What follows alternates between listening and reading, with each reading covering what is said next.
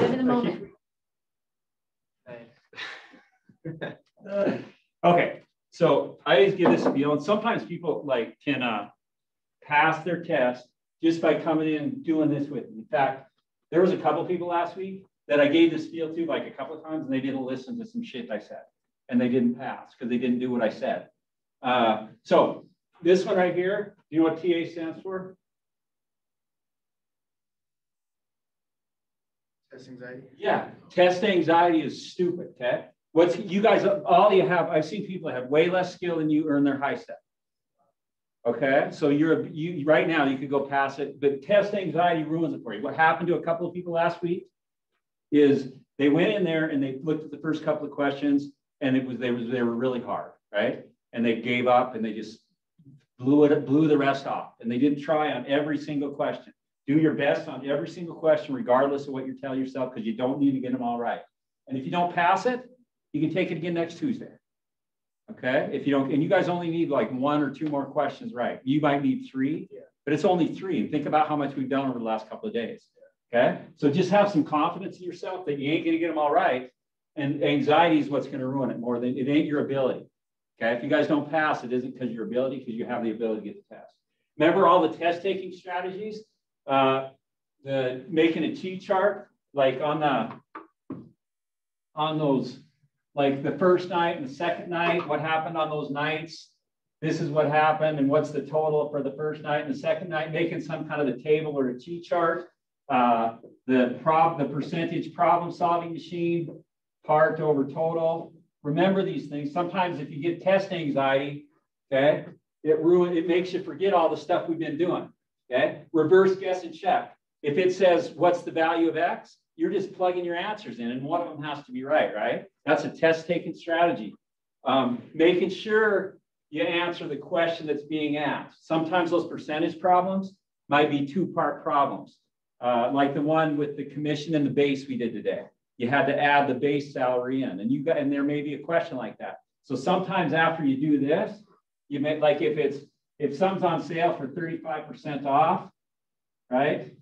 Um, or shoot, I put that in the wrong spot. If something's for sale for 35% off and it originally cost $24, it may say how much did they take off? It might also say what's the sale price. If it's asking what the sale price is, you're going to have to subtract this from this. Does that make sense? So some of those questions are going to be two-part problems.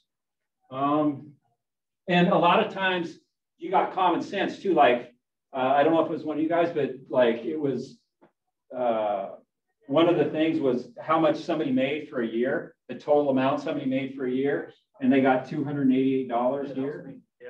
Okay, yeah, that ain't common, right? Yeah. So just if know, know that that's not a reasonable answer, you can eliminate unreasonable yeah. answers like that. Yeah. So use common sense. Uh, take all your time. Okay, you got 90 minutes. Don't the two people that that this happened to, they were done in 15 minutes, and none of you guys did that, right? You guys all did your best. Okay, um, on every single question.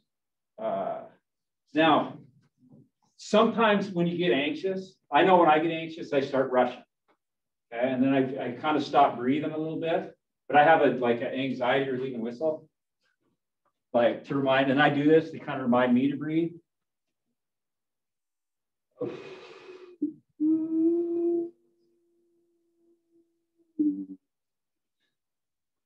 So seriously, when you breathe all the way out like that, and just take a second and slow down, it'll slow your mind down, okay? Uh, I know when I get anxiety, I have to remind myself to breathe. I have terrible anxiety about speaking in front of people.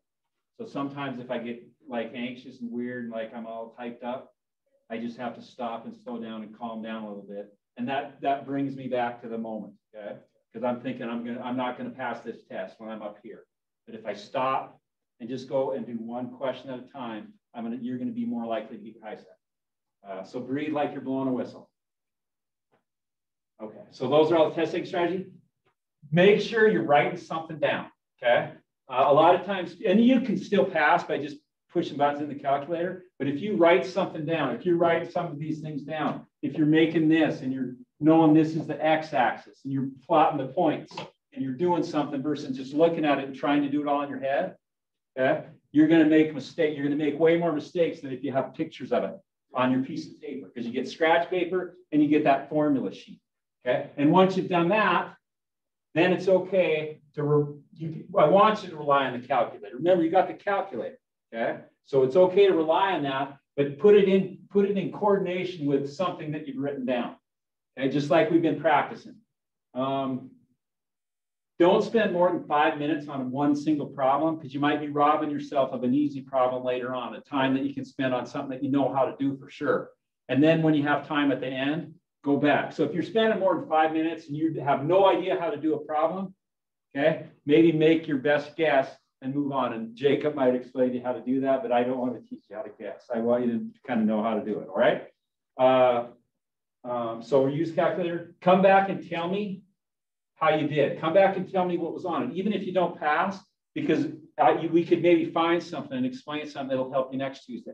If you do these things though, you should pass. And if you don't, is it the end of the freaking world? No, it's just a goddamn stupid test. Okay. You guys have any questions? Uh, okay. We'll get you some gum on the way down there. Stop.